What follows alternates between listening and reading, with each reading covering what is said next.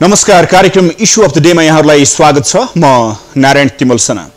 दर्शकहरू दसैँ घर घरमा भित्रिसकेको छ। आज पाँचौँ दिन पनि हो।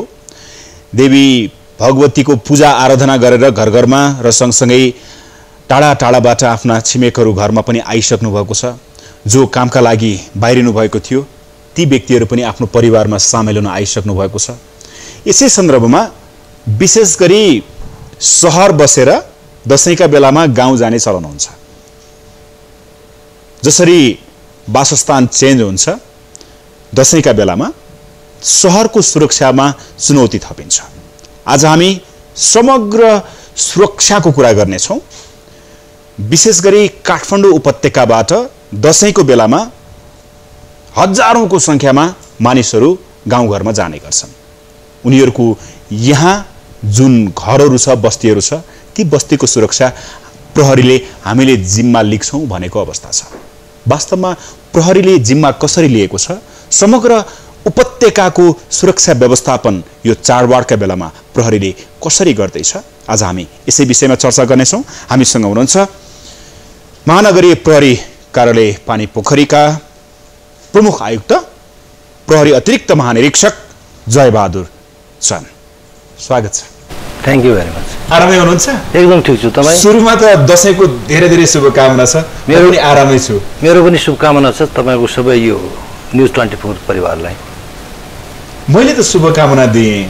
राजधानीबाट बाहिर जाने व्यक्तिहरूलाई आधा शुभकामना दिउँ कि पुरै शुभकामना दिउँ? पुरै शुभकामना दिने। शुभकामना दिनलाई त किन हामीले चाहिँ लोभ गर्ने नि? त्यो त मुक्त कण्ठले पुरा शुभकामना दिने। होइन मैले यस मानेमा म सुरक्षासँग जोड्न खोजेको छ ठिक ठिक। मेरो घर सुरक्षित होला कि नहोला? केही अप्ठ्यारो पर्ला कि? त्यो शङ्काले जाँदा ठिक अथवा प्रहरीको भनाइलाई मान्ने हो भने ढुक्क भएर जानुहोस् भन्दाखेरि मैले यो प्रश्न एकदमै कस्तो भने मैले हामीले अस्ति चार गते सुरक्षा योजना सार्वजनिक गरिसकेका छौँ। त्यसमा हाम्रो डिटेल प्रोग्राम छ र त्यसो फेरि हामीले तपाईँहरूलाई जुन सार्वजनिक गरेका छौँ त्यो भित्रको सबै अरुण खटन छैन। हामीसँग फेरि त्यसको विस्तृत चाहिँ सुरक्षा योजना हामीसँग भित्र छ फेरि। त्यसको अरुण खटनको जुन व्यवस्था हामीले गरेका छौँ ड्युटीका जुन सिस्टमहरू हामीले विकास गरेका छौँ त्यसले एकदमै ढुक्क हुने स्थिति हो। तर के भने हामीलाई खबर त हुनु पऱ्यो नि। हामीले भनेको छौँ नजिकको प्रहरीमा खबर गर्नुहोस् या एक सयमा टिपाइदिनुहोस् विवरण टिपाइदिनु तपाईँ घर जाँदै हुनुहुन्छ घरमा कोही पनि छैन। भने तपाईँले म फलाना मेरो घर यो ठाउँमा छ। सकिन्छ लोकेसन पुलिसलाई देखाइदिनुहोस्। होइन भने पनि त्यो त्यसको विवरण दिनुभयो भने हामी चाहिँ घरमै पुलिस राख्न नसकौँला। तर हाम्रो त्यो बाटोमा त पटक पटक मुभमेन्ट छ नि। त्यो मुभमेन्ट हुने बेला त्यो घरको हामी निगरानी गर्छौँ। त्यो घरलाई बेला बेला टर्च लाइट लगाएर सर्च लाइट लगाएर हेरिदिने वरिपरिको बार भतेर के छ वाल कम्पाउन्ड सब दुरुस्त छ कि छैन ताला साँचो ठिक छ कि छैन हामी हेर्छौँ त्यो गर्छौँ। त्यसैले हामीले भनेको के हो भन्दाखेरि हामीले त्यो भन्यौँ उहाँहरू छोडेर जानुभयो केही पनि भन्नु भएन भने त हामीलाई कसरी थाहा हुन्छ? यो त यो त इन्फर्मेसन चाहिँ सेयरिङ जरुरी छ। यो समस्या काठमाडौँमा इन्फर्मेसन सेयरिङको छ? कुनै टोलमा राति कोलाहाल भइ भइरहेछ हो हल्ला भइरहेछ र खबर कोही पनि गर्दैन। नसुन्ने ठाउँमा पुलिस छ। सुन्ने ठाउँमा पुलिस आफै आउँछ। दुई सय मिटर टाढा नसुन्ने ठाउँमा पुलिस हुनसक्छ हन्ड्रेड वान जिरो जिरोमा फोन गर्ने बित्तिकै त्यो उभिराखेको सिआरबी गाडीमा बसिराखेको छ टक्क। कहीँबाट खबर आएपछि हामी तुरन्त जाउँला भनेर बसिया पुलिसले खबर नपाएपछि के गर्छ भन्नुहोस् त? अनि भोलिपल्ट दुई सय मिटरमा पुलिस थियो पुलिस आएन। भनेर त भएन नि। तपाईँले अघि भन्नुभयो नि सचेतनाको कुरा जस्तो। सतर्कता र सचेत। हो। सचेतना। बिल्कुल। यी दुईटा कुरा जरुरी को पाटोमा प्रहरीले अहिले कस्तो खालको मुभमेन्ट गरिरहेको यति त मैले के भने हामीले सुरक्षा योजनामा त्यो कुरा राखेका छौँ। र अहिले हामीहरूका जति पनि यो सामुदायिक प्रहरी छ हामीले पम्प्लेटिङ बनाएका छौँ। र पम्प्लेटिङमा एक्काइसवटा पोइन्ट भएको एउटा पम्प्लेटिङ त महानगरीय प्रहरी मेरो कार्यालय जारी गरेका छ। त्यसमा यो यो भएमा हामीले चाहिँ खबर गर्नुहोस् जस्तो कोलाहल सुनिएमा अस्वाभाविक गुनगुनाहट सुनिएमा कुनै ठुलो आवाज आएमा या चि चिच्चाहट क्रन्दन सुनिएमा रातको समयमा। त्यो त सुनिन्छ नि। रातमा त सानो आवाज पनि ठुलो हुन्छ। निद्रामा ढोका ढकढक भएमा या कम्पाउन्डभित्र कोही छिरेमा यी सबै हामीले एक्काइस पोइन्टमा राखेका छौँ। त्यस्तो शङ्का हुने बित्तिकै धेरै ढिलो नकुरिकन फलानु टोलमा कोलाहाल छ हजुर भनेर एक सय नम्बरमा फोन गरिदिनुहोस्। तपाईँको पुलिस त्यहाँ उभिरहेछ पल्लो छेउमा। खबर छैन। अनि भोलि त्यो टोलमा डकैती भयो होला लुटपाट भयो होला पुलिसलाई खबर नभएको कारणले त्यो लुटपाट भयो। अनि त्यसरी भोलि हामी सबै गएर पुलिसलाई ब्लेम लगाएर त अर्थ राख्दैन नि। हरेक टोलमा हरेक घरमा पुलिस त छैन। त्यस कारण हामी के भनिरहेछौँ भने प्रत्येक टोलमा पुलिस छ भन्नका लागि जनसहभागिता जरुरी छ। कमसे कम त्यो शङ्कास्पद घटनाका बारेमा वान जिरो जिरो पैसा पनि लाग्दैन। फोन गरिदिनुहोस्। मलाई लाग्छ त्रिचालिस लाख बासिन्दा काठमाडौँमा बस्छन्। हार्डली एक दुई लाखलाई मात्र जानकारी छ कि? हन्ड्रेडमा फोन गर्नुपर्छ। गर्दैनन् अब। पढालेखा मान्छेहरू पनि गर्दैन तर यहाँनिर एउटा प्रश्न आएको छ कि सुरक्षा योजना चाडबाड आउँदाखेरि चाहिँ प्रहरीले सार्वजनिक गर्छ विशेष गरी दसैँको बेलामा। सार्वजनिक गर्ने हामी आउँछौँ हामी यति समयमा हामी सेवा दिन्छौँ भन्ने। तर जुन आपराधिक मानसिकता भएका व्यक्तिहरूको लागि यो सुरक्षा योजना सार्वजनिक गर्दा कतै उनीहरूले खेल्ने ठाउँ त पाउँदैनन् भन्ने प्रश्न। होइन होइन। तपाईँ के हो भने जुन चाहिँ कोर कुराहरू हुन्छ नि त्यस सेक्रेट राख्ने कुरा सेक्रेट पनि राखिएको हुन्छ गोप्य कुरा। जस्तो पक्राउ कुरा इन्भेस्टिगेसनका कुराहरू कसै अपराधले जाने कुरा गोप्य हुन्छ। न त यो इन्टरनेसनल प्र्याक्टिस हो।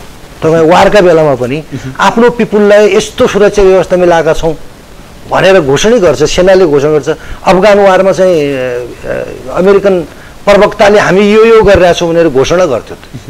अहिले सिरियाको वारमा पनि त्यो घोषणा भइरहेको हुन्छ त्यो आर्मीको प्रवक्तै बोलिरहेको हुन्छ तर हामी यति बजे शत्रुलाई आक्रमण गर्न जान्छौँ भनेर भन्दैन सुपरफिसियल जो उपस्थिति देखिने हो त्यो हो सुरक्षा योजना। जस्तो पुलिस त देखिराख्ने हो नि। हामी पाँचदेखि एघार बजेसम्म गोपाल नारायण गोपाल चौकमा उभियौँ भन्ने कुरा कुनै गोप्य छ र? सारा दुनियाँले देखिराखेको छ। त्यस्ता कुरा गोप्य हुँदैन। यो ओपनै हुन्छ तर जुन गोप्य इन्भेस्टिगेसनको कुरा पक्राउ धक्राउ कुरा स्ट्राटेजिकल कुराहरू चाहिँ गोप्य हुन्छन्। त्यो चाहिँ हामी सार्वजनिक पनि गर्दैनौँ। अघि तपाईँले भन्नुभयो नि यो यो विषय भएको खण्डमा तपाईँले हन्ड्रेडमा फोन गर्नुहोस् अथवा के गर्नुहोस् भन्दाखेरि आपराधिक क्रियाकलाप भएकोलाई ए यसो गर्न त हुँदैन क्या हो। यो हुन्छ कि? भन्ने खालको त्यो वे त निस्कन्छ नि होइन र? त्यसैले हामीले गएर एउटा जस्तो ट्राफिक एफएमबाट फुकिरहेछौँ। तपाईँले सोध्नुभयो अहिले मैले भने लाखौँ मान्छे सुन्छन्। त्यसपछि मिडियाका साथीहरूलाई पनि भनेको छु कतिले लेखिदिइराखेका छन् कतिले रेडियोबाट फुकिदिइरहेछन् किन नितान्त यो नेपालीको हितको काम हो नि कुनै पुलिस कुनै पर्टिकुलर व्यक्ति घर परिवारको होइन। सम्पूर्ण त्रिचालिस लाख काठमाडौँका बासिन्दाको हितको कुरा। यस्तो हितको कुरालाई मिडियाले व्यापक प्रचार गरिदियो भने कतिलाई त थाहा छैन त सयमा फोन गर्ने हो भनेर। यो नजिकको आउटस्कर्टका मान्छेलाई थाहा नहुनसक्छ। सहरीय मान्छेलाई पनि थाहा छैन। र त्यसपछि त्यो सयमा फोन उठेन भने हाम्रा फोनहरू पनि त्यहाँ लेखिदिएका छौँ इन्चार्जहरू परिषद इन्चार्जहरूका फोन पनि त्यहाँ छन्। त्यसमा फोन गर्ने। एक सय तिनमा भनेको छु कुनै सवारी सम्बन्धी समस्या पऱ्यो दुर्घटनाको कुरा आयो भने हामीले एक सय तिन भनेका छौँ। यो कमसेकम जसरी मान्छेलाई म के भन्छु भने आवश्यक अत्यावश्यकीय सेवाका फोन नम्बर प्रत्येक सचेत नागरिकले याद गर्नुपर्छ दिमागमा त्यो पनि। त्यो फोनमा होइन डायरीमा होइन माइन्डमा। त्यो मसलमा हुनुपर्छ। अहिले तपाईँलाई कुनै इन्फर्मेसन आएको छ कि म अब घर जाँदैछु मेरो घर खाली छ हेरिदिनु होला भनेर कुनै त्यस्तो जनताबाट त्यस्तो खालको इन्फर्मेसन तपाईँहरूलाई रिपोर्ट भएको छैन। रिपोर्ट छैन। अहिलेसम्म रिपोर्ट भएको छैन। सायद लोकल युनिटहरूलाई भएको कुरा अझै मलाई भनेको छैन। मैले उनीहरूलाई सोधेको छैन। भएको होला किन फेरि अब जाने बेला घर सर भएका मान्छेहरू निस्कने बेला हुनु पनि लाग्छ उपत्यकाको शान्ति सुरक्षाको जिम्मा तपाईँको काँधमा छ। हजुर। सुरक्षाको व्यवस्थापन हजुर। प्रहरी परिचालन जस्तै काठमाडौँ ललितपुर भक्तपुरको तिन जिल्ला कसरी गर्दै हुनुहुन्छ अहिले? हामीसँग एघार हजार पाँच सय छ्यात्तरजना टोटल मेन पावर छ काठमाडौँमा। काठमाडौँमा? यो यो भ्यालीभित्रका लागि। यसका लागि हामीले एभ्री डे आवरमा चौबिस घन्टे सेड्युल निकालेका छौँ। कुन बेला के गर्ने कुन बेला के गर्ने कस्तो किसिमको ड्युटीहरू गर्ने भनेर त्यो सेड्युल पनि निकालेका छौँ। त्यही अनुसार परिचालन भएको छ। जस्तो फर इक्जाम्पल नाकाहरूलाई कसरी ब्लक गर्ने कुनै ठुलो घटना घटेपछि first ring second ring third रिङमा कसरी चाहिँ घेराबन्दी गर्ने? त्यो योजना पनि हामीले सुरक्षा योजना बनाएका छौँ। र डेली सुरक्षा व्यवस्था र जनजीवनलाई एकदमै सुरक्षित वातावरणमा जनजीवन सामान्य बनाइराख्नका लागि जुन पुलिस परिचालन भएको छ सरप्राइज चेकिङ गरिरहेछौँ सिआरबी परिचालन गरेका छौँ फुड पेट्रोल छ भेहिकल पेट्रोल छ त्यसपछि सिल एन्ड सर्च अपरेसन गरिरहेछौँ कम्बिङ गरिरहेछौँ सरप्राइज चेकिङ होटल लजहरूको चेकिङ गरिरहेछौँ त्यसपछि आउटस्कटहरूमा पनि हामी चाहिँ सरप्राइज चेकिङ गरिरहेछौँ। यसरी हाम्रो चलिरहेको जस्तो हिजो मात्रै हामीले अस्ति एक गति के अरे घटस्थापनाको दिनदेखि हाम्रो सुरक्षा योजना लागू भइसकेपछि हामी आकस्मिक रूपमा हाम्रो चाहिँ उपस्थित देखाइरहेको छौँ काहीँ। रेगुलर ठाउँमा हुने ठाउँमा छ कतै एकैचोटि सबै ठाउँमा जस्तो हिजो उपत्यकाभरिका सबै पुलमा पुलिस थियो। सात बजेदेखि बाह्र बजीसम्म। अब अहिले म यहाँबाट गएपछि फेरि त्यो टाइममा दिन्छु। म आदेश गिराउँछु। यति बजीदेखि आज यति बजीसम्म। ताकि त्यो टाइम पनि सरप्राइज होस्। र त्यसपछि अब आज आज भेहिकल नजाने गल्लीहरूमा बस्ने पुलिस। त्यसरी हामी सरप्राइज रूपमा आदेश गिराइरहेछौँ। र अपराधीलाई एकदमै सकसमा राख्नका लागि हाम्रो चाहिँ क्युआर टी पनि छ हामीसँग? Quick reaction team. जस्तो यहाँनिर के? गर्नु? मोटरसाइकलहरू हुन्छ तुरुन्तै त्यहाँ पुगिहाल्छ। पहिलो चाहिँ इन्फर्मेसन सेयर गर्छ। क्विक रेस्पोन्स टिम क्युआर थियो क्विक रिस्पोन्स टिम हो त्यो। र यस्ता धेरै किसिमको टोलीहरू जस्तो सिभिल पोसाकमा इन्ट भने भन्छ अब मेट्रोको छ त्यो टोली सबै परिसरले पनि बनाएको छ। र अपराध महाशाखा पुरै पुरै तपाईँको चाहिँ सिभिलमा परिचालन हुन्छ। करिब साढे तिन सय प्रहरी कर्मचारी त्यहाँ छन् एसएसपी कमान्ड ती सबै इन्फर्मेसन कलेक्सन र अपराधी विरुद्ध फोकसिङ भएर लागिराखेको अवस्था हो। त्यसैले मलाई लाग्छ हिजो आज एक दुई हप्ता यता अपराधको घटना पनि प्रश्न देखिने गरी कम भएको छ। छर्लङ्ग देखिन्छ। छर्लङ्ग तर देखिन्छ। यहाँनिर आउँदाखेरि जस्तै अहिले सुरक्षाको हिसाबले प्रहरीले सुरक्षा त दसैँमा दिइरहेको छ दिने त्यो आफ्नो कर्तव्य पनि भयो।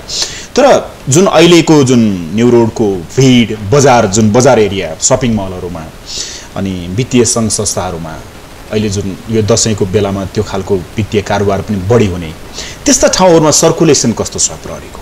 एकदमै हाम्रो चाहिँ मैले अघि भने त्यहाँ पिकेट ड्युटीहरू ठाउँ ठाउँमा राखेका छौँ। सिआरबीहरूले हेरिरहेको छ। फेरि त्यो भिडमा कतै हाम्रो मान्छे पनि छन्। तपाईँ देख्नु देख्नुहुन्न। त्यो सिभिल लुगामा आम मान्छे जस्तै भइरहेछ तर ऊ वाच गरिरहेछ उसले सेट र हतियार लुकाएर बसेको हुन्छ तर छ त्यो ठाउँहरूमा।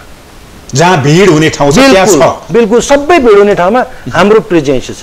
काहीँ भिजिबल छ काहीँ इन्भिजिबल छ यति मात्रै त्यो भिडमा कतै पुलिस छ भन्ने सोचे हुन्छ तपाईँहरूले। कि त्यत्रो ठुलो परिचालन। त्यो आपराधिक मानसिकता बनाएको व्यक्तिले सोच्दा हुन्छ प्रहरी। मुभमेन्ट राम्रो छ अहिले। कतै मसँगै अर्को मान्छेको पछाडिपट्टि पुलिस छ कि भन्ने सोच्न जरुरी छ। जरुरी छ त्यो चाहिँ। अब यहाँनिर आउँदाखेरि जस्तै अहिले पछिल्लो अवस्थामा चोरी आपराधिक घटनाहरूमा केही कमी देखियो एक दुई हप्ताको अवधिमा।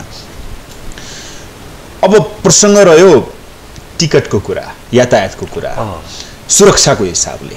त्यसका लागि व्यवस्थापन कस्तो गरेको छ? अहिले यो दसैँको जब समय आउँछ यो धेरै वर्षदेखि काठमाडौँ त एक किसिमले त्यो बेला खाली। हिसाबले खाली नै हुन्छ। सारा मान्छेहरू आफ्नो हात तल्लोमा पनि जान्छन् र त्यत्तिकै विद्यार्थी छन् कर्मचारी छन् सारा व्यापारीहरू छन् त्यो सब अक्सर दसैँमा टिका लाउन पूजा पाठका लागि धार्मिक कृत्यका लागि दसैँमा घर जाने चलन हुन्छ। र एकैचोटि यति ठुलो चाप हुन्छ कि राज्यका लागि तपाईँ अ, भनौँ न बाटा जम्मा निकासका चारवटा मात्रै हो। तिनवटा मात्रै यता नुवाकोट यता काभ्रे अन्त दक्षिण अहिले चार भनौँ न थानकोट। अनि एकैचोटि त्यो थ्री टाइम्स फोर फाइभ टाइम्समा जान्छ।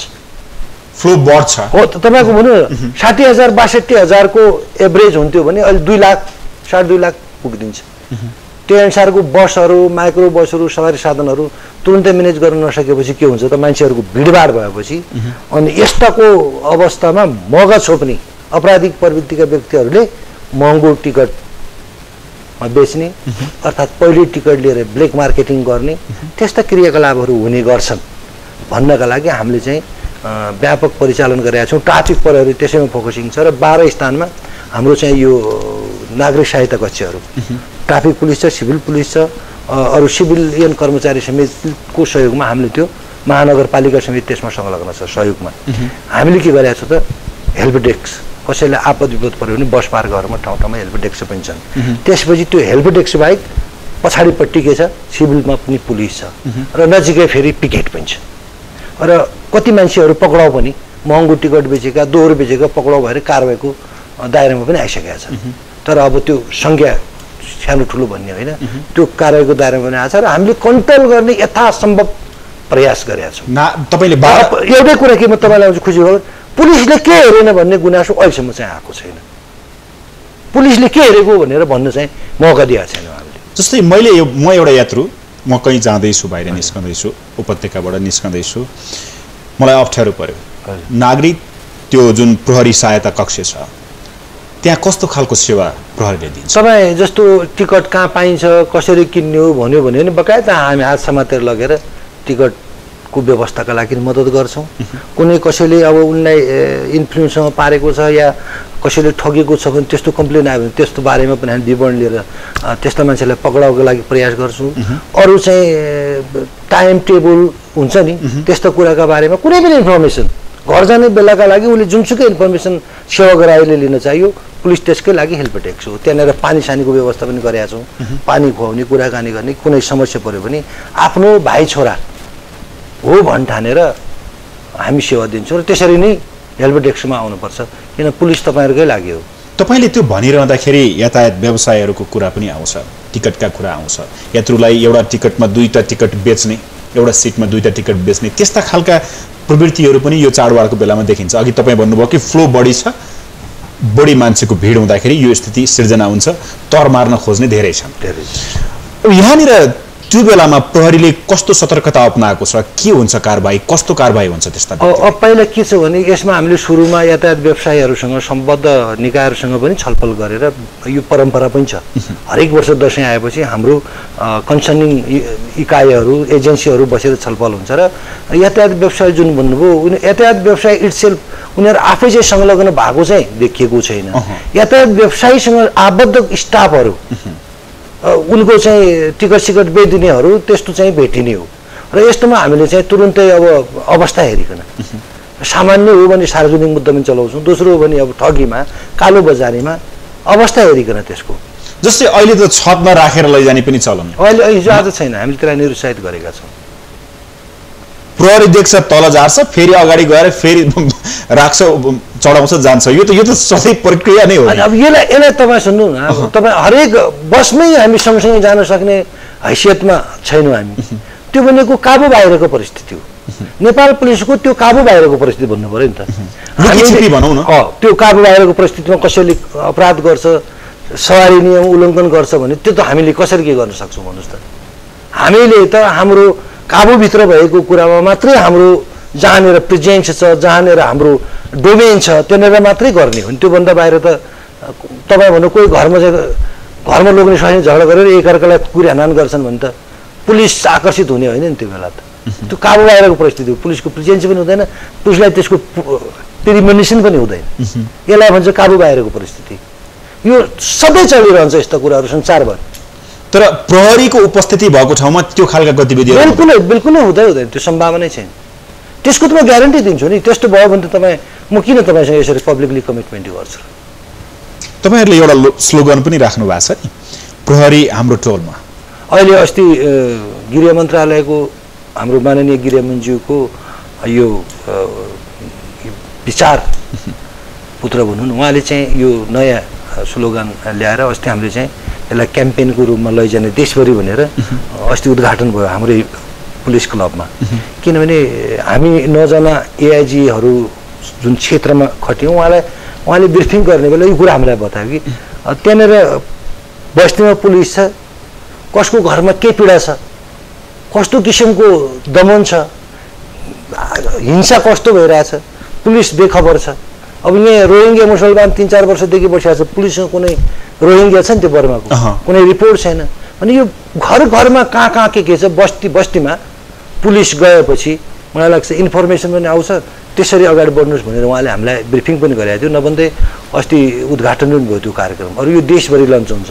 र काठमाडौँ उपत्यकाभित्र मैले चाहिँ अब यसको होमवर्क पनि गरिरहेको छु फ्लेक्स प्रिन्ट बनाउनलाई मैले सबैलाई भनिदिन्छु सबै युनिटहरू आजसम्ममा बनाइसक्नु भने चाहिँ मलाई बेलुका रिपोर्ट हुन्छ। फ्लेक्स प्रिन्टमा हामी त्यो ठुल्ठुलो ब्यानर बनाउँछौँ र अब अब हाम्रा कार्यक्रम हुनसाथ हामी त्यही कार्यक्रमलाई हाम्रो अम्ब्रेला कार्यक्रमको रूपमा अगाडि बढाएर एवेरनेस क्याम्पेनहरू अन्तर्क्रियाहरू सेमिनारहरू गर्छौँ। र सँगसँगै जुन यसको थिम हो घर घरमा गएर इन्फर्मेसन लिने जनतासँग हातेमालो गर्ने सेयरिङ गर्ने फेरि टोल सुरक्षा समितिहरू बस्ती सुरक्षा समितिहरू बनाउने यो क्रमशः अगाडि बढाउँछौँ। यो भोलिका दिनमा जाने। भोलिका दिनमा। तर अहिले सुरक्षाकै चाडपर्वकै सुरक्षाकै उपत्यकाको सुरक्षाकै कुरा गरौँ। काठमाडौँ ललितपुर र भक्तपुरमा जस्तै सुरक्षा संयन्त्र जसरी परिचालन भएका छन् प्रहरीहरू जसरी परिचालन भएका छन् सुरक्षाको लागि भनेर आम पब्लिकको सुरक्षाको लागि भनेर त्यो मुभमेन्ट कसरी गर्दै हुनुहुन्छ? अब यो सरसर्ती हेर्दाखेरि ललितपुरमा कसरी हुँदैछ भक्तपुरमा कस्तो छ काठमाडौँमा कस्तो छ? एउटा काठमाडौँको व्यक्तिले के गर्दाखेरि उसले सुरक्षा पाउँछ ललितपुरको व्यक्तिले के गर्दाखेरि सुरक्षा पाउँछ र भक्तपुरको व्यक्तिले के गर्दा आफूले सुरक्षित महसुस हुन पाउँछ यो चाडबाडको बेलामा आफ्नो घरको सुरक्षाका लागि? घरको सुरक्षाको लागि मात्रै होइन व्यक्तिको सुरक्षाका लागि पनि। एउटा त के छ भने पुलिसको परिचालन हाम्रो एउटै मोडालिटीमा छ। तिनै जिल्लाको किनभने हाम्रो चाहिँ भक्तपुरमा छुट्टै काठमाडौँमा छुट्टै तरिकाले हुने मोडालिटी एउटै हो। एउटै हो। तर सङ्ख्या फरक हुन्छ। जति काठमाडौँ धेरै ठुलो छ। हामी जस्तो राति एम्बुसिङ राख्छौँ बुझ्नु होइन। काठमाडौँमा चालिस ठाउँमा हुनसक्छ। भक्तपुरमा अलिक थोरै हुनाले थोरै ठाउँमा हुन्छ। र बेलुका राति पक्राउको सङ्ख्या काठमाडौँमा एक सय असीदेखि नब्बे दुई सयसम्म हुन्छ। भक्तपुरमा कहिलेकाहीँ बाह्र तेह्रजना मात्रै हुन्छ। ललितपुर पन्ध्र सोह्रजना मात्रै हुन्छ। यसैले मोडालिटी लगभग एउटै हो सङ्ख्या तलमाथि हुन्छ। यसैले काठमाडौँ भक्तपुर ललितपुर तिनै जिल्लाको सुरक्षाका लागि हामीले ट्वेन्टी फोर आवर पुलिसको परिचालनको व्यवस्था गरेका छौँ। यति गर्दा गर्दै पनि व्यक्तिले के सोच्नु पर्यो भने घर जा घरबाट बाहिर निस्किँदैछ भने एकचोटि आफ्नो घरको ताला साँचो दुरुस्त छ कि छैन चुक्कुनहरूभित्रका झ्यालढोकहरू लगाइएको छ कि छैन बत्तीको अवस्था के छ आफ्नो घरको सामान कसरी राखेको छ त्यो सबै दुरुस्त गर्ने अनि कम्पाउन्डको काहीँ भत्किएको सत्किएको कुराहरू काहीँ पालहरू परेको कुरा कहाँहरू उक्लिने ठाउँहरू छन् भने तिनलाई पनि मिलाउनु पऱ्यो त्यो कुरा गर्नु पऱ्यो त्यसपछि सहरमा आइसकेपछि जस्तो महिलाहरू भन्नु न महिलाहरू अब अहिले तपाईँले भनिहाल्नुभयो भयङ्कर भिडभाड छ। भयङ्कर भिडभाडमा एकदमै महँगो चाहिँ तपाईँ नेक्लेस व्हाइट टी सर्टमा लगाएर जानुभयो भने त पाँच तोला चार तोलाको त्यो नेक्लेस त्यो भिडमा पायो भने त मलाई लाग्छ पुरा अपराधी होइन आधा अपराधीको पनि मन बिग्रिन सक्छ नि। हो कि भन्नु त्यो चिज पनि आत्मसुरक्षाका लागि आफैले अप्नाउने कुरा छन्। धेरै महँगो गरगन लगाएर नहिँड्ने भिडभाडमा। ब्याङ्कमा ट्रान्ज्याक्सन छ। धेरै ठुलो रकम झिक्न जाँदै हुनुहुन्छ भने पुलिसलाई खबर गर्नु वी हेल्प। हामी सहयोग गर्छौँ नि पुलिस दिन्छौँ। बिस चालिस लाख रुपियाँ ल्याउने कुरा त रिस्की छ नि त भिडभाडमा। त्यसैले या तपाईँ तिन चार चार पाँचजना जानुहोस् एक्लै नजानुहोस्। एक्लै जाने परिस्थिति हो भने भन्नु न हामी साथ दिन्छौँ। त्यसै गरी महिलाहरू गरगहना किन्न जाँदै हुनुहुन्छ भने पैसाको ठुलो पोको नबोक्ने भर्सक अहिले त अब तपाईँको एकाउन्ट पे चेकमा व्यवहार गर्नुहोस्। त्यसपछि अहिले त अब तपाईँको एटिएमको अब भिजा कार्डहरू पनि छ। त्यस्तोलाई बढी प्रोत्साहित पनि गर्नु पऱ्यो त्यस्तै परिस्थिति हो कोही महिला एक्लै छ। गरगहना किन्नु पर्नेछ भने पुलिसको सहारा माग्नुहोस् न हामी हाम्रो काम के हो र हामी? हाम्रो पसल नै त्यही हो। हाम्रो पसल तपाईँ हाम्रो सहयोग लिनुहोस्। हामी त्यसैको लागि बसिरहँ। हाम्रो कुनै रोपाइ गर्नु छैन खेती गर्नु छैन केही छैन। हामी दसैँमा छुट्टी नलिएर हाम्रो छुट्टी रोक्का भइसक्यो। हाम्रो सबै छुट्टीमा जान्छ पुलिसको छुट्टी रोक्का भइसक्यो। मैले हिजो अस्ति मात्रै ब्रिफिङ गरेँ छुट्टी रोक्का भएकोमा कोही दुःखी हुने होइन खुसी हुने राजधानीका बासिन्दाको सुरक्षा गर्न पाए भगवान्। यो एउटा अवसर हो भनेर ठान्नु भनेर मैले ब्रिफिङै गरेको छु। त हामीले त्यो सेवाको सुरक्षा प्रदान गर्ने पसल हामीले पनि थापेका छौँ। यसलाई किन्नुहोस् फटाफट। तपाईँहरूले भन्नुभएको छ कि पाँच मिनटभित्र चाहिँ क्विक रेस्पोन्स टिम चाहिँ पुग्छ यदि तपाईँले खबर गर्नुभयो भने। क्युआरटी होइन त्यो त तपाईँको अरू नै पुलिस पनि पुग्छ। सिआरबी भ्यान पुग्छ अरू युनिटको पुलिस पनि पुग्छ। पाँच मिनट त्यो भनेको त्यो बाटोको म्यान जस्तो भन्नु न यहाँबाट शिवपुरीको डाँडामा कुनै घटना घट्यो भने खबर भएको पाँच मिनट भने शिवपुरीको डाँडामा हिँड्दा लाग्ने त्यो त हिँड्नु पऱ्यो नि त। त्यहाँ त गाडी जान्न। त्यो हिँड्ने टाइम प्लस पाँच। जस्तो भन्नु अब यहाँनिर तपाईँ र म बसिराखेका ठाउँमा पुलिस आउनु पऱ्यो महाराजगञ्जको पुलिसलाई यहाँ आउनका लागि हामीले अहिले खबर गऱ्यौँ। त्यहाँबाट यहाँ आउन कति टाइम लाग्छ? त्यो टाइम प्लस फाइभ मिनट हो। त्यहाँबाट यहाँ बाटोको म्याथ बाहेक पाँच मिनट बुझौँ न। भनेपछि पाँचै मिनटमा आउने चाहिँ हो। त्यो त कसरी हुन्छ त्यो त उडेर आउनु उडेर पनि सम्भव छैन कति ठाउँमा त। बाटोको म्याच छुट्टै हो। खबर गरेको पाँच मिनटभित्र भनेको बाटोको म्याच त्यसलाई प्लस गर्ने। भनेपछि त यसरी बुझौँ। प्रहरीलाई फोन गर्यो।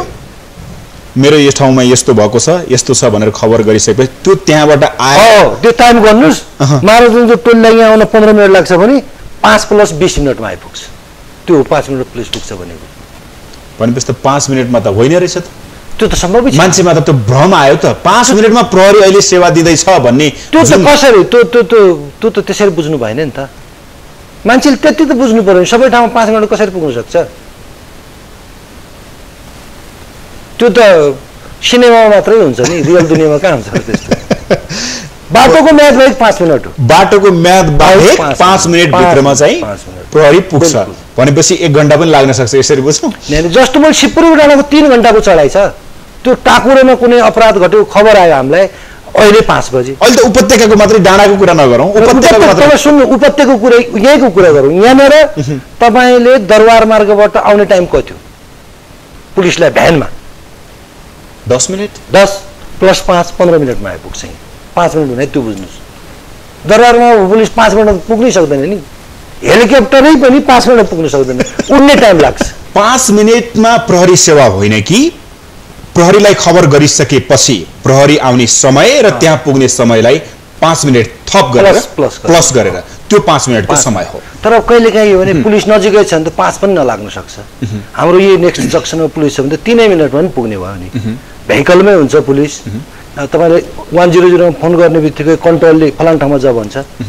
र पाँच मिनट पनि नलाग्न सक्छ। तर कहिलेकाहीँ भूगोल टाढा छ पुलिसको उपस्थिति टाढा छ या तपाईँले प्रश्न लोकेसन दिनुभयो भने खोज्ने समय लाग्न सक्छ। भने भन्ने मान्छेले पनि लोकेसन भरसक दुरुस्त दिनुपर्छ। त्यही भएर हामीलाई के भन्छ भने कोही कोही कोहीले के भन्यो भने कन्ट्रोलले फेरि फोन गर्छ।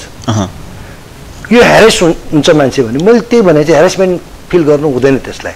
किनभने कन्ट्रोलले सोलो खुट्टेमा घटना घटिरहेछ भनेपछि पहिला पुलिसले के गर्छ त सोलो खुट्टेतिर जाऊ भन्छ। वरिपरि भएका पुलिसहरूलाई। सोलो खुट्टे जाऊ भन्छ। अब सोलो खुट्टे पर्टिकुलर ठाउँ कहाँ हो त? त्यसरी पुलिस हिँडिसकेपछि फेरि टाइम हुन्छ नि दुई चार मिनटको। अनि कल ब्याक गर्छ सम्बन्धित मान्छेले यो सोलो खुट्टे एक्ज्याक्ट ठाउँ हजुरलाई थाहा छ कि छैन? प्लिज भनिदिनुहोस् भनेर। अनि फुर्सदसँग। पुलिस पनि हिँडिरहेछ। सँगसँगै काम भयो नि। त्यसैले कहिले कल ब्याक गरेर डिटेलमा लिने पनि गर्दछ। र पाँच मिनटमा होइन कहिलेकाहीँ छिटो पनि पुग्न सक्छौँ। कहिलेकाहीँ भूगोल टाढा छ भने प्लस पाँच हो त्यो। बाटोमा लाग्ने समय प्लस त्यसरी मुभ हुन्छ भन्ने चाहिँ तपाईँ ग्यारेन्टी लिन सक्नुहुन्छ? त्यस्तो ग्यारेन्टी होइन भइराखेको छ त। ग्यारेन्टीको कुरा नै होइन। कहिले तपाईँ सिआरबी भ्यानहरू हेर्नुहोस् न। उनीहरू गाडीमा किन बसिरहेको त तिनीहरू सुतेर बसिरहेको हुँदैन नि। तिनीहरू दुरुस्त बसिरहेको हुन्छ। गाडी स्विच अफ गरेर बसिरहेको छ। तपाईँको कन्ट्रोलले सिआरबी फलाना न्युज ट्वेन्टी फोरको कम्पाउन्डमा पुग भनेपछि तुरुन्तै यहाँ पुगिहाल्छ। तर एउटा कुरा सुन्ने पनि गरिन्छ नि। प्रहरीले त्यो भन्ने आफ्नो ठाउँमा छ। तर कार्यान्वयन गर्दाखेरि चाहिँ बोलेको कुरा जस्तै मलाई यहाँ यस्तो भयो भनेर चाहिँ खबर गर्दाखेरि एक घन्टा पछि पनि नआउने प्रहरी कसरी पाँच मिनटमा सेवा दिन सक्छ? भन्ने कुराहरू पनि आएका छन्। यो ती भन्ने व्यक्तिहरूलाई ती जनतालाई आश्वस्त कसरी पार्नुहुन्छ? यस्तो जस्तो अब कुनै कुनै परिस्थिति मैले भने कहिलेकाहीँ काबुभन्दा बाहिरको परिस्थिति हुन्छ। चौकी थानातिर छ सातजना मान्छे भएको बेलामा दुई ग्रुप बनेर कतै गइरहेको बेला तेस्रो ठाउँमा फेरि घटना भयो भने त इमिडिएट अर्को पुलिस कहाँबाट लिने? त्यो गइराखेको मुभ भइराखेको ठाउँ छोडेर जान पनि नमिल्ने हुनसक्छ। त्यसै गरी घट कहिलेकाहीँ घटनाको प्रायोरिटी हुन्छ। जस्तो फलानु ठाउँमा चाहिँ झगडा भइरहेछ टोलमा भन्ने एउटा खबर आयो। र कसैको घरमा आगो लाग्यो दोस्रो खबर भयो। तेस्रो चाहिँ गस्ती गरिदिनुहोस् भन्ने खबर आयो प्रायोरिटीमा कुन पर्यो त? आगो लागेर घर ध्वस्त हुने कुरो भित्र मान्छे तुरुन्तै मरिहाल्न सक्छ नि। त्यो प्रायोरिटी रोज्ने कुरोमा पहिला पुलिस त्यहाँ पुगेर त्यहाँ पुग्दा ढिलो हुनसक्छ तर काठमाडौँको हकमा त्यो होइन। काठमाडौँको हकमा हामीसँग पर्याप्त बिहानहरू छन्। यदि तत्काल पुलिस दरबार मार्ग एरिया हेर्ने पुलिसले आफ्नो पुलिस सबै खटाएको छ भने उसले तुरन्त कमल पोखरीले उसलाई सपोर्ट गरिदिन्छ। महाराजगञ्जकोले सपोर्ट गरिदिन्छ। सोलगुटीले सपोर्ट गरिदिन्छ। किनभने काठमाडौँ उपत्यकाभित्रको सबै पुलिस एउटै बस्केटमा हो। त्यो मेट्रोपोलिटन प्रहरी कार्यालयको एकै बस्केटभित्र मेट्रो प्रहरी कार्यालय अम्रेलाको रूपमा काम गर्छ र यो सबै आदेश पनि भइसकेको छ। ललितपुरको एडजोइनिङ टेरिटरीमा कुनै घटना घट्यो भने तुरन्त नजिकको काठमाडौँको पुलिसले स्वतः माग्न साथ मलाई सोधिरहनु परेन। त्यो उनीहरूको अन्डरस्ट्यान्डिङ मैले बनाइदिइसकेको छु। त्यो खालको कोअर्डिनेसन छ। एकदम उनीहरूलाई राखेर मैले भनिदिइसकेको छु। र त्यसपछि तुरन्त मलाई पनि जानकारी दिनु फुर्सदसँग भनेको छु। नत्र चेन अफ कमान्डमा जाने यो ठाउँमा मद्दत चाहियो हजुर भन्ने मलाई रिपोर्टिङ हुने त्यसपछि पठाउनु भन्दाखेरि इट टेक्स टाइम कहिलेकाहीँ यस्तो इन्सिडेन्ट्सहरू हुन्छ कि पुलिसको उपस्थिति तत्काल आवश्यक चाहिँ ढिलो नगरिकन। त्यसमा किन रोकिनु पऱ्यो किन मेरो आदेश चाहिरहनु पऱ्यो आखिर सुरक्षा हो काठमाडौँको बासिन्दाको सुरक्षा हो तपाईँ के हुन्छ भने मान्छेको झगडा आपस दुई ग्रुपमा झगडा भइरहेको बेलामा मान्छेसँग लुकाएको हतियार निकाल्ने समय कति लाग्छ? पाँचदेखि सात सेकेन्ड। त्यो पाँचदेखि सात सेकेन्डको समयभन्दा अगाडि पुलिसको प्रेजेन्स भयो भने त्यो मान्छे मार्ने हतियार ननिस्किन सक्छ। यसको हाम्रो द्रुत उपस्थिति प्रम्प्ट एक्सनको भूमिका यो हामी टाइममा घटनास्थलमा पुग्यौँ भने एकछिनपछि मारिने मान्छे मरिने मान्छे बाँच्छ। त्यो खालको व्यवस्थापन अहिले भएको छ भनेर बुझ्दाखेरि हुन्छ। कोसिस त्यसैका लागि गर्ने हो नि। हाम्रो कोसिस त त्यसैको लागि सुरक्षा योजना त्यत्रो गरेका छौँ। तपाईँको पचासौँ ठाउँमा हाम्रो उपस्थिति छ। साठी सत्तरी ठाउँमा एकैचोटि हिजो त्यत्रो पुलमा त्यत्रो पुलिस एकैचोटि दुई हजार पच्चिस सय पुलिस खटिन्छ। कोसिस त्यसैका लागि हो। कोसिस त्यसको लागि। त्यसका लागि। अब यहाँनिर तपाईँहरूको कोसिस त आफ्नो ठाउँमा छ जस्तै चाडबाडको बेलामा अलि जुवा तास खेल्ने अलिकता हल्ला पनि गर्ने खालको अवस्था देखिन्छ। त्यसका लागि कन्ट्रोलिङ कसरी हुँदैछ? अब अहिले हामीले त्यो अपिलमा पनि त्यो कुरा राखेका छौँ खबर गर्नुहोस् भने। जस्तो सडकमै बसेर खोडखोडी खेल्ने अनि घर घरमा खेल्ने यी सारा विकृतिहरू पनि हुने गर्छ। फेरि अब सबै जसरी यहाँका मान्छे आफ्नो थाहा तल्लोतिर गएर काठमाडौँ गएर बाहिर छन् उनीहरू पनि आउँछन्। विदेशमा भएका मान्छे पनि प्रायः दसैँमै आउँछन्। फेरि दसैँ भनेको के त? खाने पिउने खेल्ने नै एउटा संस्कारको रूपमा विकास भइसक्यो। यद्यपि केही विकृतिहरू हुने जुवा खेल्ने यहाँ खेल्ने विकृति यसलाई त कस कुनै पनि हालतमा राम्रो भन्ने कुरा त होइन नि त। सम्पत्ति हारजित गर्ने कुरा त राम्रो त कसरी भन्न सकिन्छ? तर यो कस्तो भइसक्यो भने समाजको एक्सेप्टेन्स जस्तो क्या? यसलाई अब व्यावसायिक रूपमा यदि गरिरहेछ भने हामीले छोड्दैनौँ। र सडक सडकमा खेल्ने यताउति खेल्ने हामी अहिलेदेखि सुरु गरिसकेका छौँ। यसैले हामीलाई खबर हुनु पऱ्यो यो ठाउँमा यस्तो हरकत भइरहेछ। व्यावसायिक रूपमा खेल्ने लाई त छोड्नु भने जस्तै कहिलेकाहीँ अब जस्तै दसैँको दिन म खेलेँ त्यस्तो होइन। यो त अब क्राइमको रूपमा आयो नि त त्यो त। क्राइम त हाम्रो नजरमा र हाम्रो जानकारीमा आउँछ भने हाम्रो हस्तक्षेप हुन्छ। जुवा खेल्ने कुरा तपाईँ भन्नु पाँचजना साथीहरू बसिरहनु भएको छ। तपाईँ पैसै पनि छैन त्यत्तिकै खेलिरहनु भएको छ भनौँ दैला पकड भने हामी त्यहाँ गयौँ भने पनि त हामीले छानबिन त गर्नु पऱ्यो नि त। सोधपुछ गऱ्यौँ पैसा पनि भेटिएन जस्तो तास मात्रै भेट्यो भने त्यसपछि हामीले सोच्ने कुरा हामी रोबोट सिस्टममा जाँदैनौँ नि। हामी त ह्युमन बिइङ हो। त्यहाँनिर ठिक हो कि बेठिक हो भन्ने कुरा एउटा कमान्डरले त्यो निर्धारण गर्छ। मनोरञ्जन गरिराखेका रहेछन् दैला पकड रहेछ भन्ने कुरालाई त सम्झाइ बुझाइ गर्ने कुरा मात्रै हुन्छ तर तर। व्यावसायिक रूपमा खेलेको व्यवसाय त्यहाँनिर पैसा भेटियो। होइन? सबै त्यो खेलाउने सामग्री भेटियो भने चाडबाडको बेलामा दुई चार सयको खाल त भइहाल्छ नि। त्यस्तो त्यस्तो त एउटा हामीले त्यो भन्ने कुरै हुँदैन। हामी त्यसमा त हस्तक्षेप गर्छौँ गर्छौँ खैर। जुवा तासको कुरा आफ्नो ठाउँमा छ। रेस्पोन्स टोली तपाईँहरूको खटिरहेको छ। अलिकता स्वास्थ्य सुरक्षाको हिसाबले अलिकता जोडौँ। त्यसमा प्रहरी कति सचेत छ? अस्ति भर्खरै थानकोटमा मरेका खसी बोका चाहिँ राजधानीमा भित्राइयो भन्ने खालका समाचारहरू आए। तपाईँहरूले केही पक्राउनु भयो पनि। त्यो खालको संयमता प्रहरीमा देखियो। त्यो निरन्तरता कस्तो छ? एकदमै निरन्तरता छ र यो फेरि सबै तपाईँको कन्सर्निङ एजेन्सीहरू पनि एकदम गम्भीर छन्। अझै पनि हाम्रो चाहिँ अख्तियार मा चाहिँ यस विषयमा प्रमुख आयुक्तज्यूले हाम्रो सबै मन्त्रालय कन्सर्निङ मन्त्रालय सुरक्षाका काठमाडौँ भित्रकै चिफहरू सिडिओ साहबहरू सचिवज्यूहरूलाई बोलाएको थियो। यो कुरा पनि त्यहाँ उठाएको थियो। र यो एकदमै गम्भीर कुरा हो भनेर प्रमुख आयुक्तज्यूबाट हामीलाई निर्देशन पनि भयो। र यसलाई हामी निरन्तर रूपमा दिन्छौँ। अनुगमन टोलीहरूले आफ्नो रिपोर्ट पनि त्यहाँ प्रस्तुत गरे। र एउटा बजार अनुगमन टिम छ जिल्ला प्रशासन कार्यालय यसले लिडिङ रोल दिन्छ। सबै यो टिमहरू कन्सर्न निकायहरूले हामीले चाहिँ ठाउँ ठाउँमा चाहिँ अब रेड गर्ने त्यसपछि चेकिङमा जाने त्यो भइरहेछ। र यो गति दिइरहन्छौँ हामी। तपाईँले त्यो भनिरहेर जस्तै अहिले दसैँमा त बढी मासु खपत हुन्छ उपत्यकामा हुन्छ। त्यो खालको जस नेपालभर नै त्यो मासु खपत हुने ठाउँ।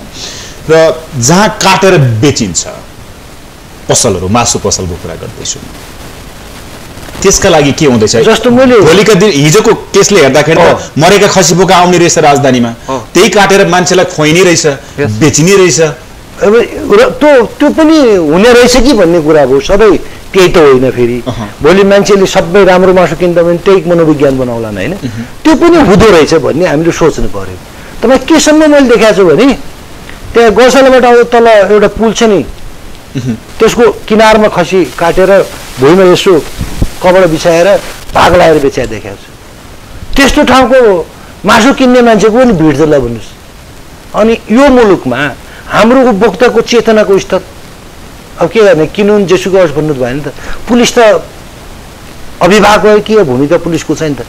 त्यस्तो ठाउँमा हामीले गऱ्यौँ भने त्यसलाई पनि कार्य गरेर मैले ब्रिफिङ गरिदिइसकेको छु। गलत ठाउँमा भुइँमा कपडा बिछाएर मासु बेच्न पाइन्छ भने। त्यो त खेलवाड हो नि। यो राज्यको उपस्थिति नभए जस्तो। अनि नाङ्गो खानेकुरा चोकमा राखेको छ। दहीमा छोप्या पनि छैन। पुरा झिङ्गो उभिरहेछ। हाम्रो जिम्मेवारी पनि त्यो। हामीले सम्झाउँछौँ बुझाइ गर्छौँ कारवाही गर्छौँ त्यस्तोलाई। यसैले एउटा हाम्रो बजार अनुगमन कमिटी नै छ। त्यसमा हामी हामी पनि पुलिस पनि छौँ। त्यसबाहेक त्यो त्यो समिति उपलब्ध नहुने बेला कि हामी हात बाँधेर बस्ने त देख्यौँ चुपचाप लाग्नु भएन नि। हामी त्यस्तो कारवाही गर्छौँ। उपभोक्ता नै पहिलो सचेत हुनु पर्यो। त्यो एउटा त्यो के भने त्यो पनि एउटा कल्पना गर्ने कुरा भयो। तर छैन नि त के गर्नुहुन्छ? तपाईँ नेपालमा हामी कति प्रतिशत साक्षर मान्छे छौँ? साक्षर मान्छे छौँ। कति प्रतिशत अशिक्षित मान्छे छन्? कति प्रतिशत त्यसपछि यो स्वास्थ्यप्रति कन्सियस मान्छे छन्? यो सब चिज हेर्नु पऱ्यो नि। कतिलाई त थाहै छैन नि भने। काठमाडौँ बस्छ भन्दैमा हुन्छ। नत्र तपाईँ बताउनुहोस् न त्यो धोबी खोलाको किनारमा सामान्य कपडामा भाग लगाएको मासु बिक्री हुन्छ भन्नु नि त्यो यो मुलुकमा। सडकको किनारमा। त्यो देखिन्छ। त्यो त हामीले भन्नुपर्छ हस्तक्षेप गर्नुपर्छ त्यहाँनिर। सिकाउनुपर्छ किन त्यो जानेको भए त्यस्तो स्कुलिङ भए त्यस्तो गर्थ्यो होला त। मलाई लाग्छ त्यो खसी काट्नेलाई पनि त्यो दिमाग छैन किन्नेलाई पनि त्यो लेभलको चेतना छैन। त हामी एउटा अभिभावकीय भूमिका हुनाले हामीले त्यस्तोलाई सम्झाउनु नि पर्यो। फेरि दोहोऱ्याएर गर्छ भने कारवाहीको दायरामा हुनुहुन्छ अहिले एवेरनेस क्याम्पेनिङमा म यो तपाईँलाई किन भनिरहेको भने यो प्रचारै गरिराखेको हो मैले। त्यस्तो नगर्नुहोस्। किन सिकाउनु जरुरी छ? हामीले सचेत बन्नुहोस्। यस कुरै त्यो हो। सचेत बनाउनको लागि म यो भनिरहेको छु। जस्तै सुरक्षाको मिठाईहरू राखिरहेको छ हेर्नुहोस्।